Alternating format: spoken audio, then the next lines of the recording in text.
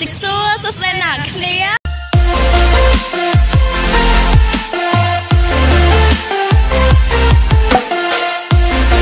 ជិះសួរសួស្តីអ្នកគ្នាពួកយើងជាសិស្សសាលារៀនស៊ីសវត្តខ្ញុំឈ្មោះថាចិត្រាសុធារាហើយគាត់ឈ្មោះខាន់កនិកា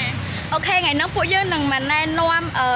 ទីធ្លាសាលារៀនស៊ីសវត្តដែលពួកយើងរៀនរាល់ថ្ងៃហ្នឹងហ្មងចាប់ផ្ដើមពីខ្លោងទ្វាររហូតដល់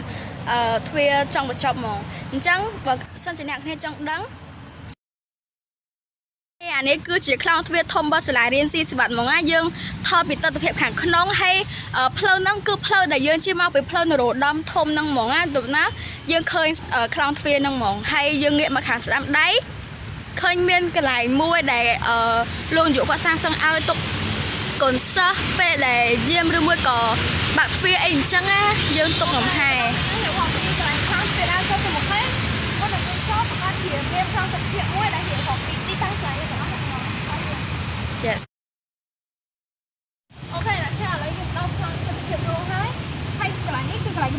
ស្គាល់សម្រាប់តែយើងឥឡូវគេដាក់ហាសម្រាប់រូបសញ្ញានេះគឺយើងនៅកំពង់ទីនេះអញ្ចឹងទីតាំងយើងឥឡូវយើងកំពុងនៅកន្លែងនេះនៅកន្លែងច្រកចូលខាងមុខតែម្ដងអូខេអ្នកនរគ្នាពេលយើងចូលមកគឺកន្លែងនេះគឺទីចាត់ការនេះគឺជាតារាងបាស្កាតតារាងបាស្កាតគឺមាន3ហើយនៅពីខាងនេះទៀតគឺ5ចឹងអ្នកគ្នាអាចដើរមកខាងនេះក៏បានខាងនេះក៏បានហើយនេះគឺចូលអាគារ D ហើយនឹងអាគារ E គឺនៅជិតគ្នាជិតទាំងអាគារ C និង F ផងដែរ ហើយចំណែកអាកន្លែងនេះគឺគេហៅថាវេទិកាអញ្ចឹងបើយើងមកមកខាងខាងអាគារទាំងពីរនេះគឺយើងបានឃើញតារាងបាល់ខាងធំមួយដែលគេរៀបចំរចនាស្អាតក្នុងមែនតើបើសិនជាអ្នកគ្នាចង់មកលេងអ្នកគ្នាអាចឈានចូលមកកន្លែងតារាងបាល់នេះគឺស្អាតមែនតើហើយចឹងហើយចំណែកអាកន្លែងម្ដុំខាងគៀននេះនិងខាងលើគៀននេះជាគឺជាកន្លែងស្តង់ខាងកន្លែងគេញ៉ាំបាយញ៉ាំដងចង់ទៅអ្នកមានមានហើយមានទាំងទាំងអាហារថ្ងៃត្រង់អាហារពេលព្រឹកគឺមាននៅទីនេះទាំងអស់ហើយតើអ្នកគ្នាឥឡូវយើងចូលទៅមើល តតែម្ដងហេយើងងាកមកខាងនេះតលគឺទីចាត់ការរបស់សាលារៀនស៊ីស្វាត់តែម្ដងអ្នកនរគ្នាគឺស្អាតមែនតើអ្នកនរគ្នាអឺទីចាត់ការនេះគេដាក់ថាវិទ្យាល័យព្រះស៊ីស្វាត់អ្នកនរគ្នាអូខេដូចយើងដឹងអញ្ចឹងហើយទៅខាងស្ដាំដៃយើងមានផ្លូវមួយដើរចូលទៅបន្ទាប់មកអីដែលយើងឃើញដំបូងគេគឺតារាងបាល់អ្នកនរគ្នាអូខេវ៉ាវធំតារាងតារាងបាល់បោះ Yes តារាងបាល់បោះ នេះគឺសួនច្បារធំដែរអ្នកនរគ្នាអូខេអឺនេះគឺរូបសំណាក់ដែលមានហើយបន្ទាប់ពីតារាងបាល់បោះហើយយើងឃើញមានកន្លែងនេះមួយដែលខាងក្រោយស្តង់ Yes គឺមានអាគារមួយប៉ុន្តែឥឡូវហ្នឹងគេកំពុងតែសាងសង់ហើយ អឺអាគារហ្នឹងពីដើមឡើយគឺអាគារសិល្បៈប៉ុន្តែឥឡូវដោយសារតា COVID-19 អញ្ចឹងគេធ្វើជាអាគារសម្រាប់លោកគ្រូអ្នកគ្រូសិក្សាអនឡាញវិញអញ្ចឹងណាបង្រៀនអនឡាញណាហើយអីដែលយើងឃើញបន្ទាប់ទៀតគឺអាគារនេះយើងបានរៀបរាប់មកខ្ញុំភ្លេចរៀបរាប់អាគារនេះអាគារសម្រាប់សិស្សវិទ្យាល័យប្រសិទ្ធិបាទហើយពេលយើងទៅខាងមុខទៀតគឺជាអាគារនេះដែលខ្ញុំបានរៀបរាប់ Yes ណាស់អ្នកគ្នាកុំភ្លេចកន្លែងនេះហាគឺអឺកន្លែងនេះ លោកគ្រូអ្នកគ្រូគាត់បោះប៊ូលគាត់ជុំគ្នាអីអញ្ចឹងណា Yes អ្នកគ្នាឃើញខ្សែនេះអត់អ្នកគ្នា Yes នេះបងច្រើនតែឲ្យធម្មជាតិចឹងយើងប្រកាសជំនះកន្លែងនេះសិស្សអាចរៀនអាចអីចឹង Yes yes ធំមែនតើអ្នកនរគ្នាពួកអ្នកគ្នាអាចចូលមកអ្នកគ្នាមើលផងទឹកអ្នកគ្នាមិនបង្វែងនៅក្នុងសាលាយើង Yes អូខេយើង នៅនេះគឺអាគារ D អ្នកនរគ្នានេះគឺជាតារាងបាល់ផ្ទះ Yes គឺជានោះក៏តារាងបាល់ដែរនៅខាងនោះគឺជាតារាងបាល់ផ្ទះអូខ្ញុំភ្លេចហៀបរាប់ឲ្យអ្នកនរគ្នាមើលខាងក្រោយអឺទីจัดការនោះអ្នកនរគ្នា មានអាងទឹកមានដើមថ្នោត មានផ្លែថ្នោតទេអ្នកនរគ្នាកន្លែងគ្រប់ទាំងជាអ្នកខ្ញុំមកធ្វើបើសុំជាអ្នកគ្នាចង់គឺនេះគឺជាបន្ទប់ទឹក បន្ទប់ទឹកគឺនៅមុខតែម្ដងមាននៅកន្លែងទីចការនោះមានបន្ទប់ទឹកសម្រាប់លោកគ្រូអ្នកគ្រូអីចឹងសម្រាប់សិស្សអីយើងអាចចូល Yes អ្នកគ្នាកន្លែងនេះមានសិស្សច្រើនមែនតែននៅរៀងរងថ្ងៃច័ន្ទគឺយើងតំងជួននៅកន្លែងហ្នឹងហើយអ្នកគ្នាឃើញនេះដងទងជាតិនៅខាងក្រោមដងទងជាតិហ្នឹងមានអឺអាងទឹកមួយហើយនេះគឺដើមថ្នោតអ្នកនរគ្នាស្អាតណាស់ស្អាតមែនតើអ្នកនរគ្នា ចាអ្នកគ្នាយើងមានរូបសំណាក់ហើយនឹងអាងទឹកមួយ Yes ដោយដែលយើងបានឃើញអញ្ចឹងអានេះគឺទស្សនវិជ្ជាពេញអឺពេលដែលសិស្សអឺតម្រង់ជួររៀងរងថ្ងៃច័ន្ទណាអ្នកនរគ្នា គឺលោកគ្រូអ្នកគ្រូគឺគាត់អឺឈរនៅកន្លែងនេះដាក់មីក្រូហើយអឺសិស្សអាចឈរពេញអឺទីធ្លានឹងអ្នកនរគ្នាហើយនេះគឺអឺដោយដែលយើងរៀបរាប់អញ្ចឹងគឺវេទិកា ហើយនៅជិតវេទិកាហ្នឹងគឺអាគារ E នេះគឺជាអាគារ E និងអាគារ D ដែលនៅជិតគ្នាអញ្ចឹងណានេះដែលខ្ញុំបានរៀបរាប់មិញនៅខាងក្រៅអាគារអាគារហ្នឹងគឺមានប្រាំងបាល់យ៉ាងស្អាតគោនេះអញ្ចឹងនៅពេលដែលយើងដើរមកក្រោយអាគារ D និងអាគារ E យើងបានឃើញអឺរូបនាមមួយបន្ទាប់មកនេះអូយធំមែនតែនត្រាំងបាល់ខ្ញុំហាត់កីឡាឯងក៏នៅកន្លែងហ្នឹងដែរអ្នកនរគ្នា Yes ស្អាតមែនតើណាផ្សេងពីប្រាំងបាល់នេះធំមែនតើ ហើយប្រាំងបាល់នេះយើងអាចបែងចែកជា3សម្រាប់លេងបានដល់ទៅ3តារាងថែមទៀតផង Yes ហើយអឺរាល់ឆ្នាំដូចជាមានការប្រកួតបាល់នៅនឹងដែរហើយនេះគឺជាបងសម្រាប់អង្គុយអីចឹងទៅចាហើយចូលមើលខាងក្នុងក៏ស្អាតដែរអូខេអានេះស្មាសបានិមិត្តទេណាអ្នកនរគ្នាស្វាស្បនិមិត្តនេះកន្លែងបងណានិយាយទៅគឺទីវាវាធំខ្លាំងមែនតើបើធំក៏ស្អាតដែរណាអូ ខេចឹងត្រាំងមួយយើងសូម្បីតែត្រាំងស៊ីសវ៉ាគឺត្រាំងមួយអាចបែងចែកជា3អូខេហើយអីដែលខ្ញុំឆ្លាញ់នៅស៊ីសវត្តហ្នឹងគឺ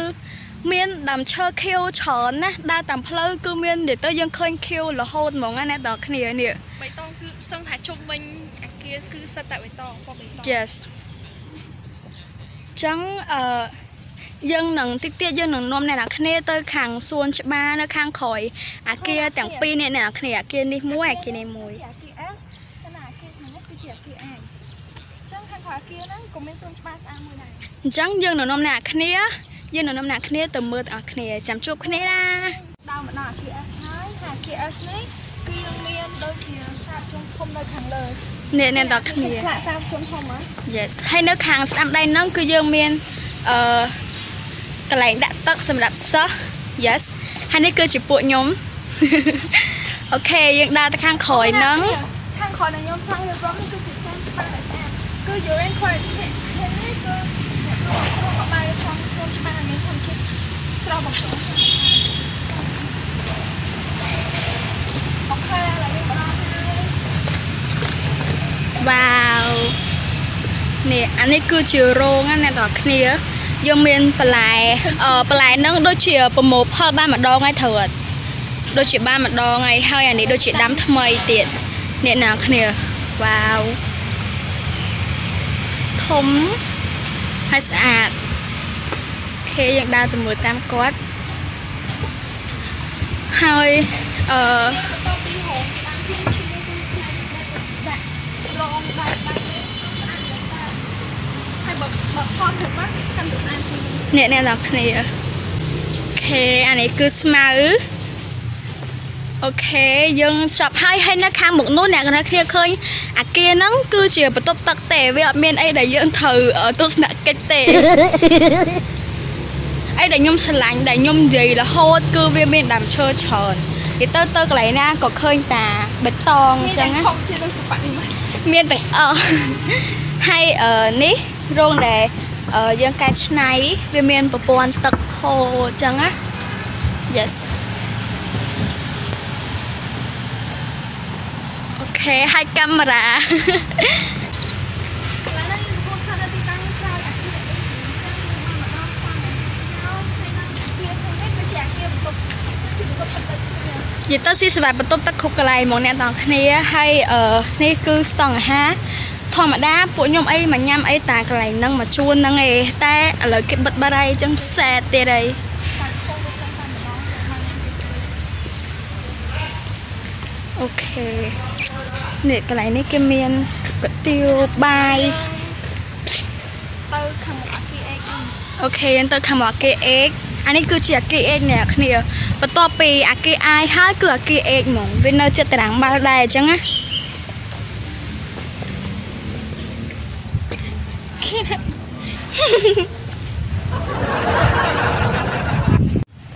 ខេអ្នកនរគ្នាជួបខ្ញុំវិញហើយអញ្ចឹងអឺកន្លែងនេះគឺគឺជាបន្ទប់រៀនមួយដូចអ្នកគ្នាឃើញអញ្ចឹងគឺ home economic អឺគឺជាមេផ្ទះតែឥឡូវហ្នឹងមាន mix ជាមួយនឹង IT អញ្ចឹងណាគេ combine បន្ទប់ចូលគ្នាអញ្ចឹងណាហើយបងនេះខ្ញុំមួយអ្នកកាន់កាមេរ៉ាមកញ៉ាំស្វាយរាល់ថ្ងៃអូខេអឺហើយនេះគឺជាបន្ទប់នាយករងដូចអ្នកគ្នា ឃើញអញ្ចឹង Yes ហើយខ្ញុំប្រាប់នៅទីស្វាត់ហ្នឹងមាន magic ខ្ញុំប្រាប់គ្នា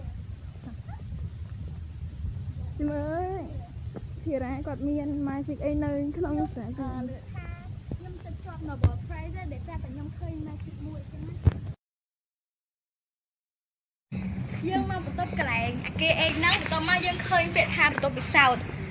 យើងមើលទៅកញ្ចក់ខាងស្ដាំណាឃើញរាងខ្ញុំទូជាងមុនអ្នកគ្នាអូ Yes ខ្ញុំមែនិយានយមែនចាំមើលហ៎រាងខ្ញុំប៉ុណ្ណឹងដល់ពេលខ្ញុំចូលមកកញ្ចក់នេះហ่ะរាងឡើងកម៉ាប់ខ្ញុំមិនដឹងថាអ្នកគ្នាឃើញនៅក្នុងកាមេរ៉ាណែទេសំខាន់ថាអ្នកនេះនឹងឃើញស្មៅពីអ្នកខ្ញុំច្បាស់ Yes ប៉ុន្តែនៅខាងនេះឡើងស្គមខាងនេះឡើងកម៉ាត់ខ្ញុំមិនចូលទេខ្ញុំចូលចិត្តតាញ៉ាំអីនៅខាងនេះបន្តមកញ៉ាំអីហើយខ្ញុំឆ្លងអ្នកណាឃើញឃើញខ្ញុំនៅកណ្ដាលនៅកណ្ដាលហ្នឹងមើល Yes ណាគ្នាស្គមមែនណា ខ្ញុំមិននិយាយលេងទេបើអ្នកគ្នាមកអាចសាកឆ្លោះមើលបានហ្នឹង magic គាត់អ្នកនេះ Yes ធ្វើតាមគាត់ទៅគាត់មិនកុហកទេអឺ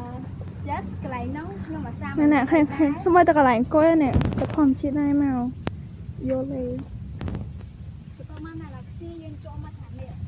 អឺអឺយើងឃើញកន្លែងខ្មៅខ្មៅនេះ កន្លែងហ្នឹងខ្ញុំដាក់បីជើងបន្ទាប់មកនៅលើអាគារហ្នឹងយើងមានអាគារដូចជាយើងមានបន្ទប់សិក្សារូបវិទ្យាហើយនឹងអឺសិក្សាសង្គមអីផ្សេងផ្សេងអញ្ចឹងណានៅលើអាគារហ្នឹងហើយអឺ yes បន្ទាប់មកយើងងាកទៅខាងស្ដាំដៃយើងយើងឃើញខាងរោងអាហារមួយទៀតហើយអូខេអ្នកគ្នាកន្លែនេះងហ្នឹងគឺជាកន្លែងលាងដៃហើយនឹងនៅច្រកចូលបន្ទប់នោះគឺជាបន្ទប់ទឹក បន្ទាប់មកយើងឃើញកន្លែងញ៉ាំអីមានអីអីឆ្ងាញ់ឆ្ងាញ់ហើយមានអនាម័យទៀតអូខេបន្ទាប់មកអីដែលយើងត្រូវមើលបន្តទៀតអានេះគឺអាគារមួយដែរតែមានតែពីរផ្នែកឯណានៅ here អាហ្នឹងគឺជាអាគារ F ដែលខ្ញុំបានប្រាប់ថាវានៅចិត្តអាគារអាអី Yes អាគារ E sorry អ្នកគ្នាអាគារ ខ្ញុំមើលទៅគ្រាន់ទៅឃើញពាក្យថាក្រុមប្រឹក្សា យុវជនអឺនិយាយទៅកន្លែងហ្នឹងខ្ញុំមិនសូវបានចូលទេប៉ុន្តែខ្ញុំឃើញបងបងកាយរដ្ឋហើយនឹងអឺបងបងកាកបាទអេភិកច្រើនគាត់នៅកន្លែងហ្នឹងជុំគ្នាអញ្ចឹងណា Yes កន្លែងនេះគឺកន្លែងផ្ញើម៉ូតូហើយនឹងច្រកចេញមួយទៀតណែអ្នកគ្នានេះក៏ជាច្រកសំខាន់ដូចគ្នាដែរនេះគឺជាច្រកចំហៀងហើយនឹងច្រកដែលយើងបានចាប់ផ្ដើមហ្នឹងគឺជាច្រកខាងមុខ Yes អូខេអ្នកគ្នាការរៀបរាប់របស់យើងចប់ហើយទស្សនវិជ្ជានៅស៊ីសវត្តយើងអាចបានរៀបរាប់អឺ គ្រប់ទាំងអស់គ្រប់ក្លោកគ្រប់គ្រប់វេលាទេប៉ុន្តែយើងគិតថាវា detail វាសំរុំដែរអញ្ចឹងណាអញ្ចឹងអឺកុំភ្លេចថាអ្នកគ្នានឹងមកមើលពេលខ្លះតនេតនេអីចឹងអូខេអ្នកគ្នាអញ្ចឹងមុននឹងចាក់ជីវីដេអូនេះកុំភ្លេចចុច like subscribe ហើយនិង comment នៅខាងក្រោមថាចង់ឲ្យពួកយើងធ្វើវីដេអូអីបន្តទៀតហើយសូមអ្នកគ្នាគ្រប់ត្រងណាបាយបាយ